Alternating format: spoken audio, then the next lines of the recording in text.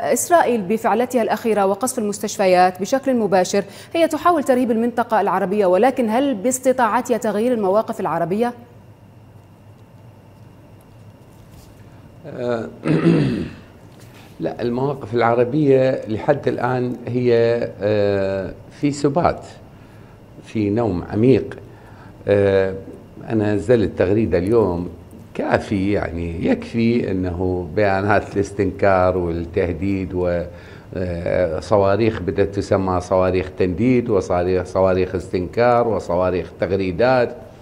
هذه يذكرني بجماعة هجموا على جماعة فضربوهم أذوهم ذولاك كانوا بس يسبون بيهم. فقالوا لهم صار قال هم ضربونا بس إحنا شبعناهم أفشار بالعراقي يعني شبعناهم مسبة بس هم أكلوا الضرب.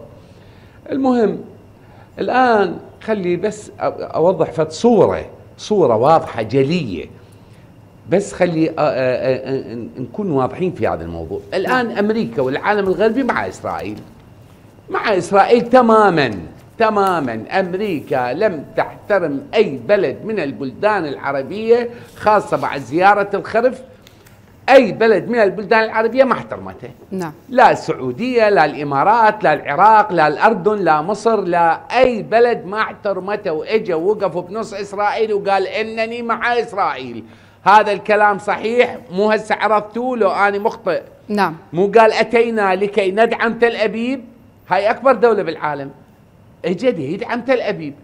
والدول الغربية كلهم وياه. اذا خلي نصنف الاصطفافات.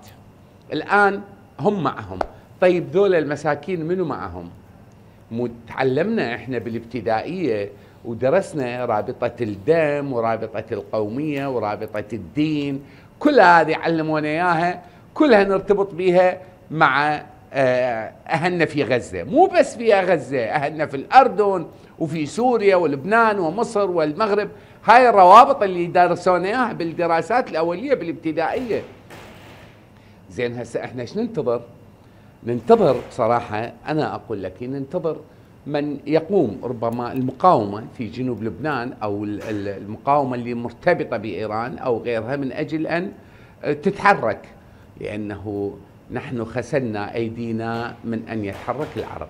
نعم. طيب إذا ما تحركتوا إذا ما تحركتوا ما تريدون تخوضون قتال زين ترى شوف القتال ما يخوف إحنا بالعراق من سنة ال 80 من ال 73 هم من حرب تشرين من سنة ال 80 إحنا حرب بعد حرب. ما توقفت الحروب ويانا ابدا. أنا أخذت حروبا من ال 85 إلى أن طلعنا من الجيش. إحنا نخوض حروب. إلى أن خرجنا فما راح تخوفنا ولا ولكن راح ترعبنا. ولكن القتال يا سيد البياتي لا يحقن الدماء المهدورة. قل لن يصيبنا إلا ما كتب الله لنا. هذا الموضوع. طيب ما تريدون تدخلون حرب؟ وقفوا تصدير النفط بالوقت الحاضر. وقفوه. وقفوه. ما عندكم هذا هذا حل حل الضعفاء. شو تسوي؟ شنو الحلول الأخرى؟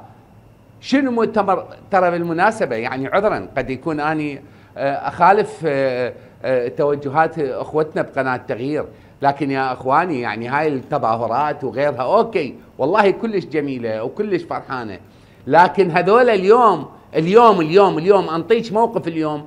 ما تركوا منطقة في غزة وضواحيها وغيرها إلا ما قصفوها قصف شديد. نعم. اليوم اليوم, اليوم. بكلامك هذا يا سيد البياتي يعني وعذرا على المقاطعة. حضرتك لا تناقض أحد وأنت مع موقفنا. نحن قناة التغيير موقفنا وطني بحت.